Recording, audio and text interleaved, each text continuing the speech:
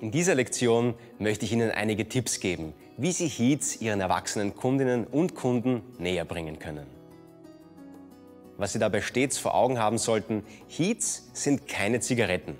Während man bei Zigaretten vor allem von Stärke spricht, benutzen wir für Heats ein anderes Vokabular. Hier sprechen wir stattdessen von Aroma, Körper und Intensität. Nehmen Sie hierzu gerne die Händlermappe in die Hand, um mehr über einzelne Tabakmischungen zu erfahren. Heats sind anders als Zigaretten. Und so kann es sein, dass jemand, der zuvor eine eher stärkere Zigarettensorte geraucht hat, nun die milden Heats am besten findet. Oder auch andersrum.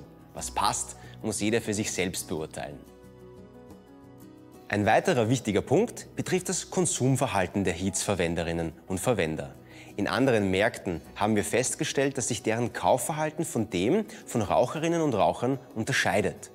Meist werden nicht einzelne Schachteln, sondern mehrere gleichzeitig gekauft.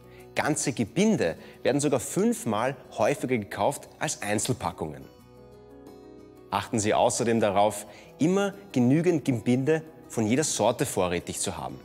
Denn wenn sich Heats Käuferinnen und Käufer erst einmal auf eine Variante festgelegt haben, besteht in der Regel keine Wechselbereitschaft.